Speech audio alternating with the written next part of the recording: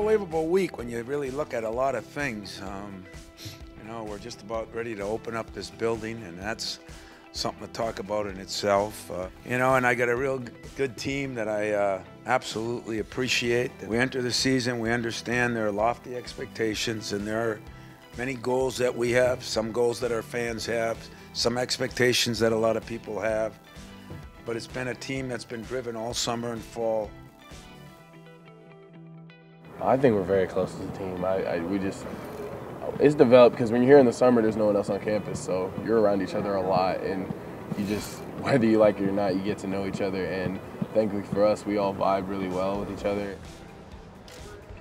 Everybody, everybody has their role on this team, man. You know, some people play bigger roles, other ones, some people, you know, some people roles are vital, and you know, my role is one of those. So just gotta orchestrate this team, gotta hold my end, hold my end on the defensive end and things like that, and you know what I'm saying? If that if I do that, then there's no there's no telling what we could be capable of. We're healthy this year, so we're able to do more in practice, such as war, um, a lot of more physical drills. So he's driving us harder. Um, we have more bodies, and it's good for us.